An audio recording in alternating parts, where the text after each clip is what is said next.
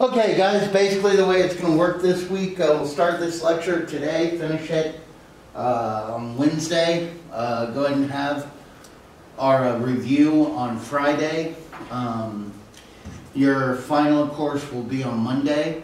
Uh, I think it starts whenever this class time starts and it'll be closed an hour after it. It's going to be just like your midterm. Uh, what, 20 questions? Or did I have to give y'all 25?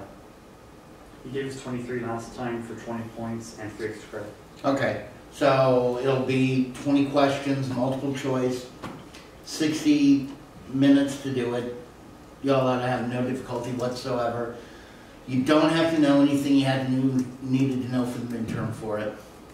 So it's like the midterm part two. Yeah. For the midterm, I believe the way you did it was you opened it at 10 o'clock and, or maybe 11 o'clock, and then closed at 11 o'clock that night and just gave us a one hour timer. Are you doing it that way or is it during class time? Uh, it's supposed to be during class time. Okay. So I don't know if I'm, you know, maybe because it's internet, I might have that freedom. All I know is they're pretty uh, by the book on that. So A sociology professor was just like, we're giving you four days. Like, pick one you want. Uh, that would be wonderful. But the good thing is, is that you get uh, this one out of the way quick. It's your first final uh, during finals week, or you might have a class that's earlier than this. But that means you don't have to worry about this class. Um, make sure to do the uh, class survey uh, that's uh, online on Canvas and put in a criticism on ratemyprofessor.com. Uh, hopefully you will found this class good. It'll be interesting because it's the first time I've taught Texas history, even though I've studied it for goodness knows how long. Heck, I've lived it. All right, so y'all ready to get going? This lecture is Complex Times, uh, Texas basically from 1980 to 1994. And just as our book starts out, we start out with the Branch Davidians. Now, did any of you guys know anything about the Branch Davidians? All right, well, basically, this was a guy, the Branch Davidians were a subset of the uh, Seventh day Adventists, I believe. And uh, there's about a guy down in Waco who basically was amassing a lot of guns. The uh, ATF. And it's during this time that we really do kind of see a rise of uh, religion and politics. And we'll get to that in just a nation. Okay, Texas and national politics.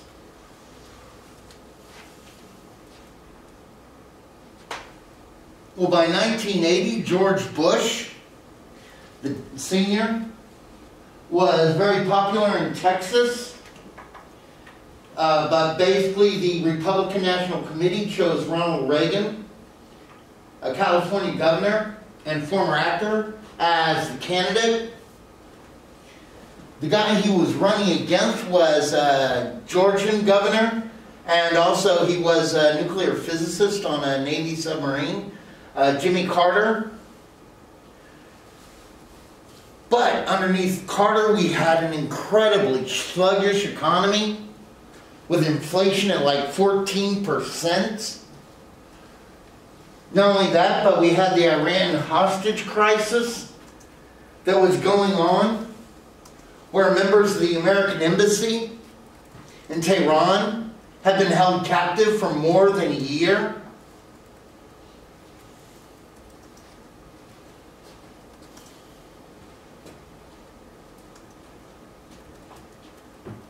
But Ronald Reagan, known as the uh, great communicator,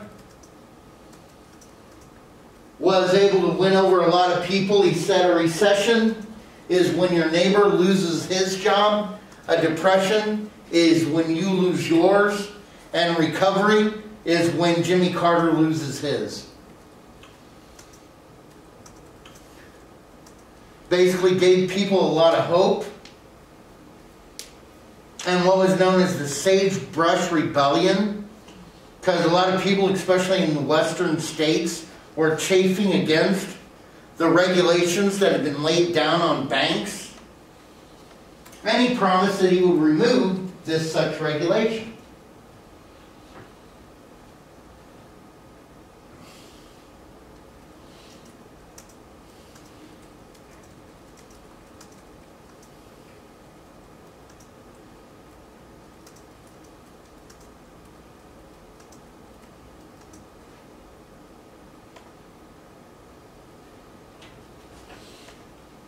Meanwhile, in Texas, in Texas, we are going through an incredible oil bust. The price of oil goes down, and then real estate went down as well. And because of that, especially here in Dallas, you had a lot of savings and loans that failed like the 10 largest commercial banks here in Texas all failed. In five years, from 1985 to 1990, more than 455 banks failed, with 200 thrift banks.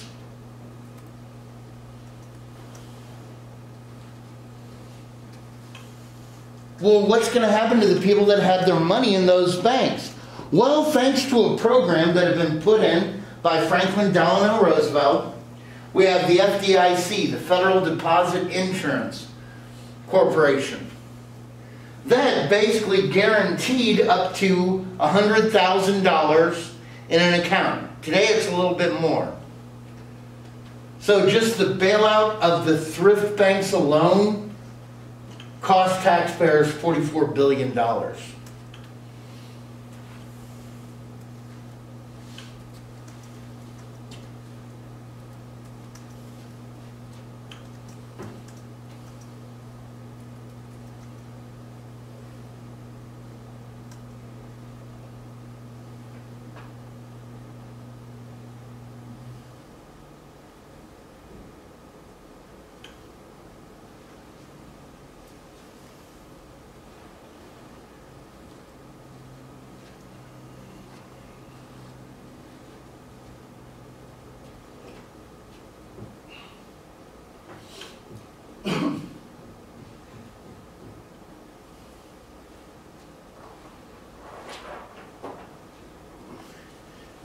What about the deregulation that was promised? Well, here in Texas, we had a lot of deregulation. Especially there was a loosening of the Wright Amendment. Southwest Airlines took advantage of this to expand to 20 more markets. With the deregulation of trucking, Texas-based uh, Central Freight Lines grew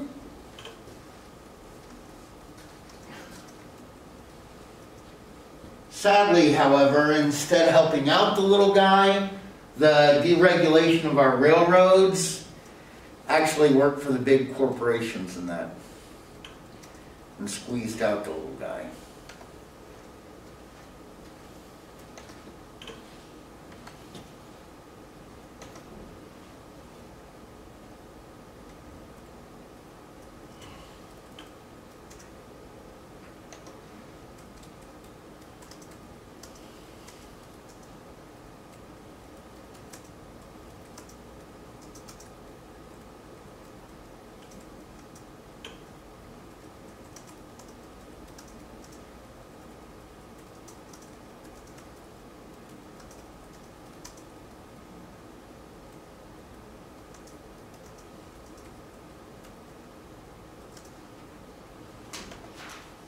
Meanwhile, religion, the melding of religion and politics was very, very evident during this era.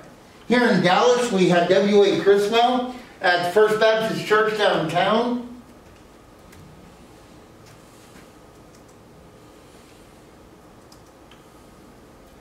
Who, in conjunction with like Jerry Falwell, the guy who started Liberty University, uh, big time Protestant.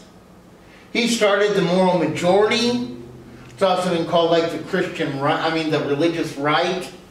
or the Christian Coalition.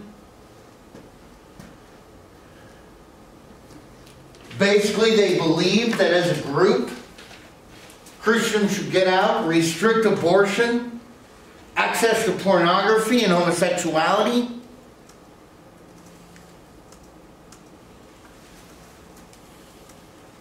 Indeed, uh, Jerry Falwell said of homosexuality, said of AIDS, that AIDS wasn't a punishment on homosexuals, rather, it was a punishment on society that accepted homosexuals.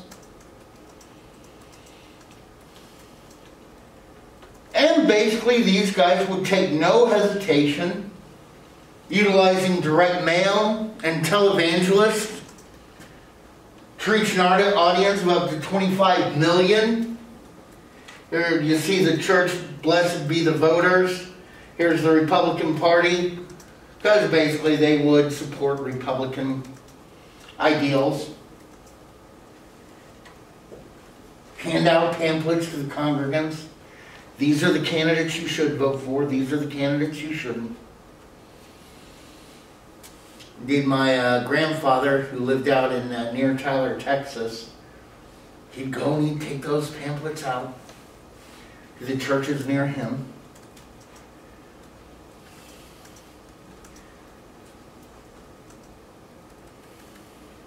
Now, of course, their devotion to this group, the moral majority, was actually pretty big despite the fact that you had uh, exposes happen like Jim Bakker, who helped found the PTL show or the Praise the Lord show, was married to Tammy Faye Bakker.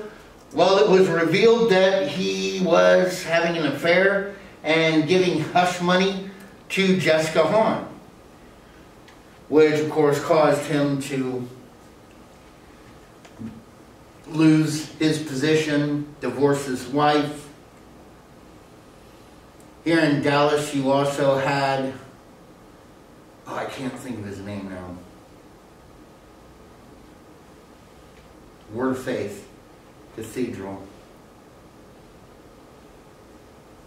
Indeed, the pastor of the church that I went to, he also had an external affair that caused his eviction from that church. Robert Tilton. Robert Tilton wasn't my preacher. He was the guy who was at Word of Faith. But now they basically raised the land that that church, church was on, and it's the hockey center uh, out in Farmers Branch slash Carrollton.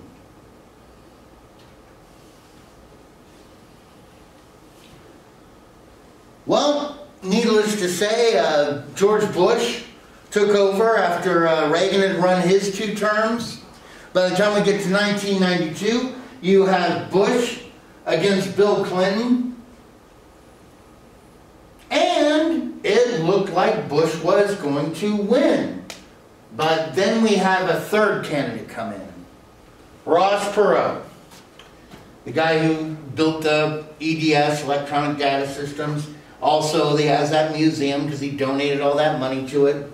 Also, he tried to do something to solve the hostage crisis under Jimmy Carter where they sent in like three helicopters and special agent teams. Well, one of the helicopters had to return. Of the other two helicopters, one of them was uh, destroyed in a dust storm. Thing totally fell apart. But he came in and basically said that uh, with his business sense, he would get the economy back on the run. And here in Texas, uh, Ross Perot actually got 22% of the vote. Bill Clinton got 37% of the vote. And Bush got 40% of the vote. The only problem is, nationally, Ross Perot took votes away from, not Clinton, but from Bush. That's why, if you remember, back in 2016, a lot of people were worried that uh, Ralph Nader or the Bernie Sanders might run as a third party candidate.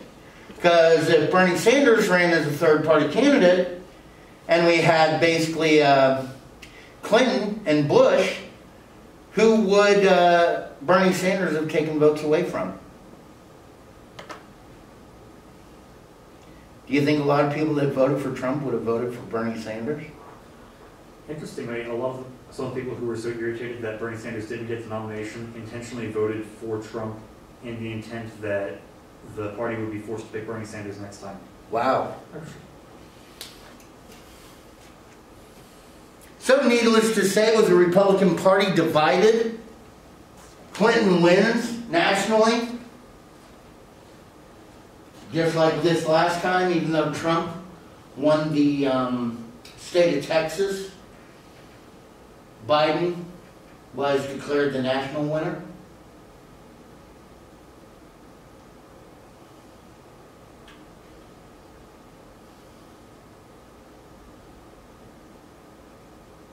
Everybody?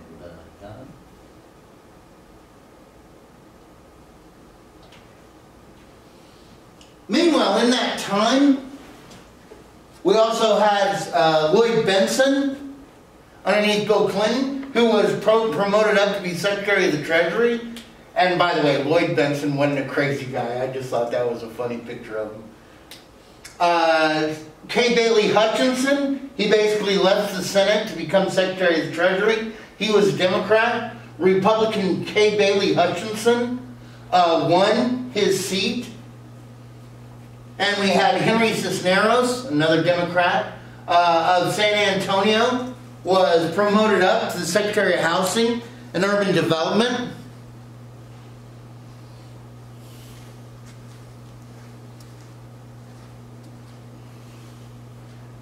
On just as uh, Lloyd Bentsen had ser- served many years for Texas, so did uh, Kay Bailey Hutchinson.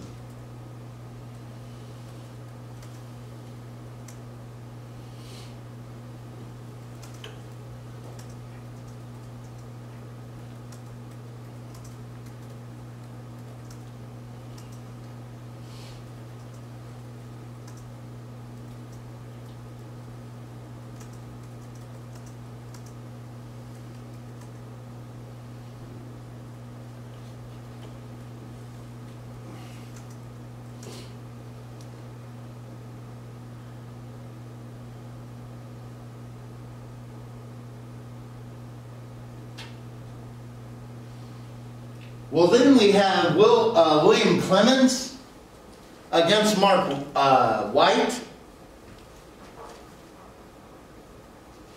I know you're saying, what was uh, Bill Clements doing against the uh, drum, the guitarist for? Oh my gosh, I forgot what the name is. One rock band.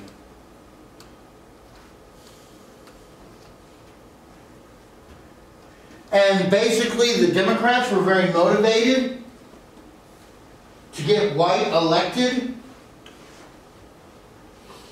especially teachers, with a prom- promise of comprehensive educational reform. But, like people always say, be careful what you wish for. Why? Because you just might get it. House Bill 72 was passed here in Texas that established educational standards for students and teachers.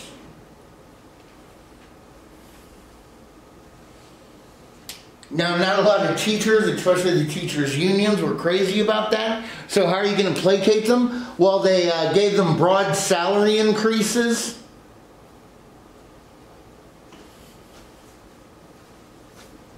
This is when we have the no pass, no play, where the student is failing a six week period. They're prohibited from extracurricular activities.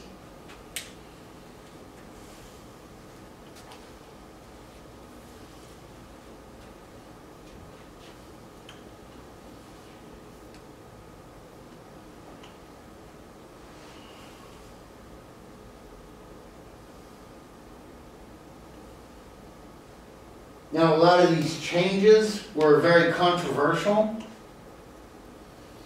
As you can guess, uh, bureaucratic systems don't like a lot of change. especially quick change.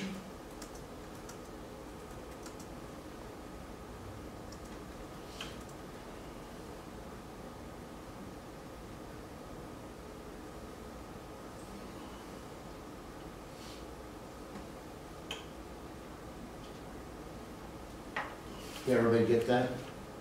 Do I need to go back? Go back for this bit.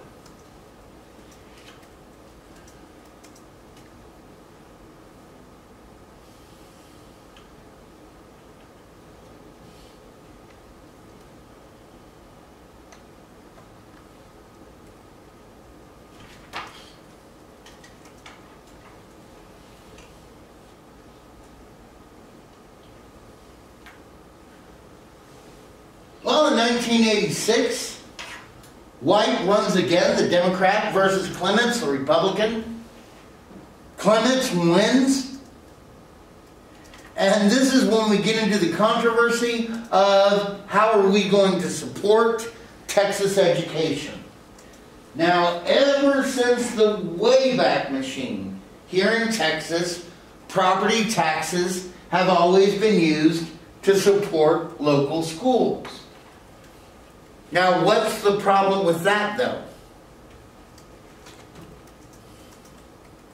Different areas have different property taxes because of different values. So, usually the higher property taxes get what? More funding for schools. Yeah, better schools. Highland Park, they're going to have better education. Plano, going to have better education than Prosper. Indeed, this case was, there was a case as early as 1971 where they tried to say that this was a case of inequality. Went all the way to the Supreme Court of the United States of America. Only was found constitutional by one vote. Otherwise, we would have had to have dealt with it back then. Then jump up to 86, we have Edward uh, Edgewood ISD versus Kirby. Kirby was the head of the Texas Department of Education. Basically, they said that education was a uh, basic right, regardless of where you lived or how much your parents made. Everybody needed to have equality in education. So this is basically where they got the Robin Hood plan, where basically the uh, Texas government takes from the richer districts to turn around and give to the poorer districts.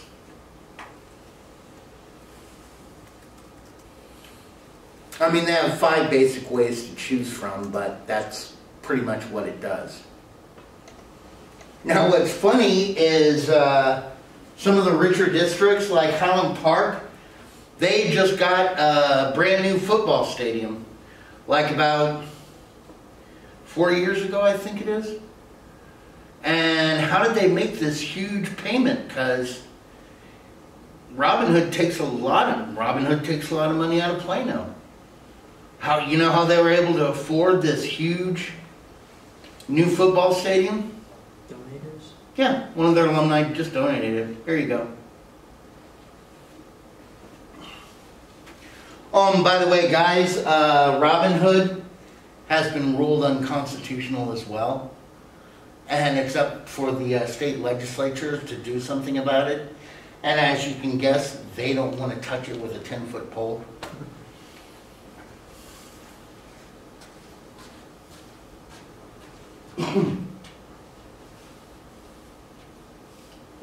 Then Clarence has more problems.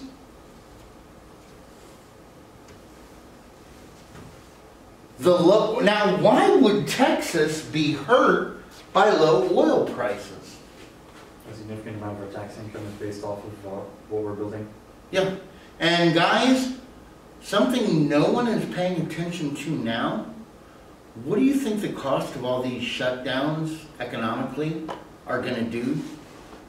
Because the counties aren't making the tax money, state's not making the tax money, city's not making the tax money. Yet They still have to pay cops. They still have to pay policemen. They still have to pay college prof. Oh, anyway. But guys, uh, also SMU football scandal breaks out where he had basically given money to the football program at SMU. They'd have scholarships where players would get jobs, where it would just be a handover of cash. When all this is revealed, uh, the death penalty was passed on SMU, meaning they couldn't play football for a year.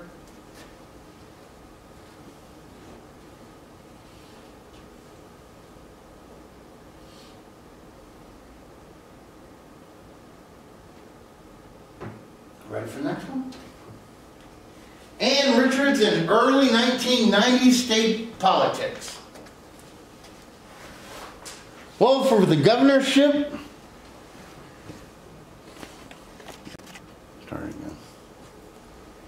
In 1990, it was supposed to be Jim Mattox, a Republican, versus Ann Richards.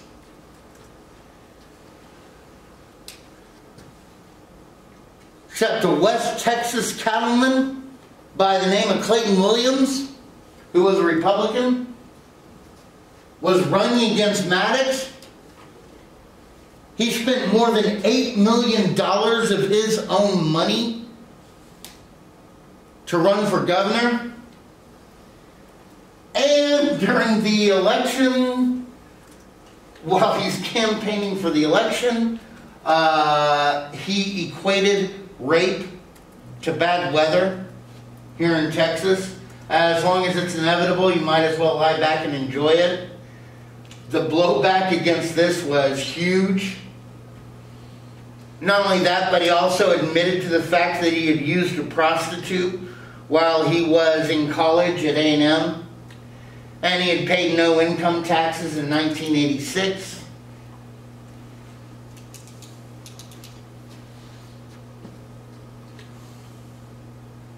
Which led to a decisive victory for Ann Richards.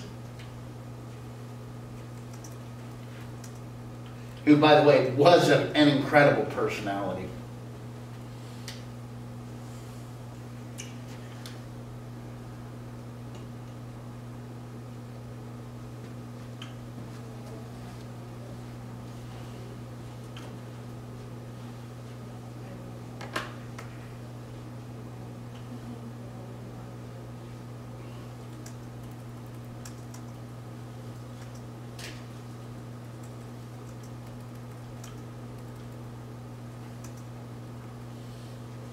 basically, uh, Texas, because we weren't making the money from oil anymore, they had to figure out how to make up to the shortfall. So this is when we got the state lottery passed here in Texas. And even though they told everybody, oh, well, the reason why we're doing this is to support Texas education, guys, the money for the lottery doesn't go directly to education. It goes into the general fund where money for all of Texas goes. So if ever you see a lottery ticket like it's for the U.S. veteran, it's for the veterans, don't believe it. Oh, this is for education. Don't believe it. In a roundabout way it is, but it's going into the general fund. Now, Ann Richards, though, did do some great things, like in our uh, prison system, here in Texas, she started substance abuse programs for prisoners.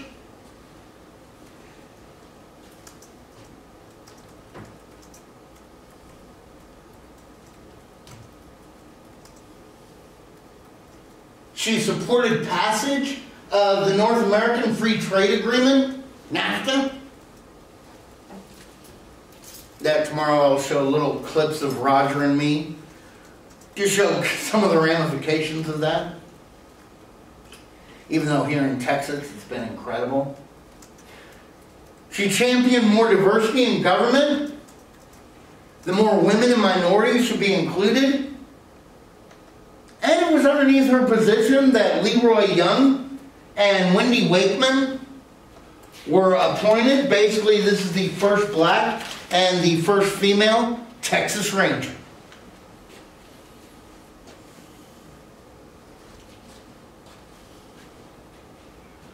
Oh, and by the way, guys, just so you know, uh, three weeks after that thing happened in Waco with David Koresh, the Texas Rangers were sent out to West Texas.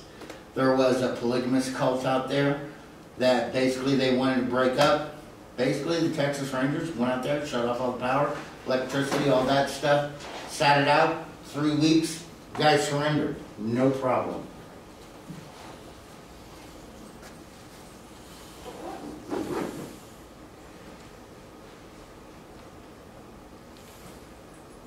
All right, everybody got it? Next class, we'll go ahead and be finishing out this lecture, as well as, that's about it. All right, stay healthy, stay strong. Remind those